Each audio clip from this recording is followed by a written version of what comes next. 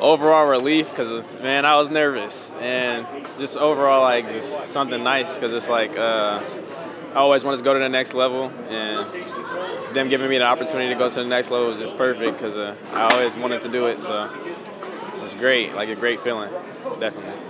Absolutely, and you know, just talk about what was it about them that made them the final choice for you? Why them?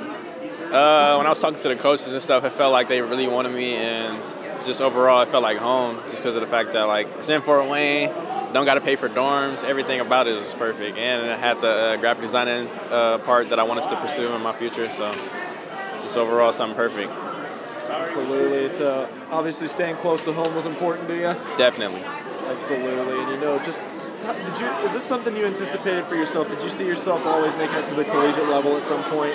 Yeah, I definitely did because uh, I've been playing football since I was five years old, and football just always my life. So me, I just always knew I was gonna go to the next level when it comes to football. But just, just like it's crazy, just because it's at home. Like I couldn't ask for nothing better.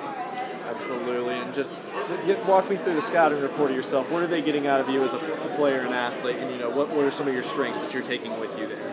Uh, just overall, they was looking for new DBs because of the DB that they had ended up transferring. So I was just one of that one of them people that like work super hard at DB and make a lot of tackles. But if, even if they don't play me at DB, I'll play whatever just because of the fact that I want to start my first year. And then if I don't, it's okay.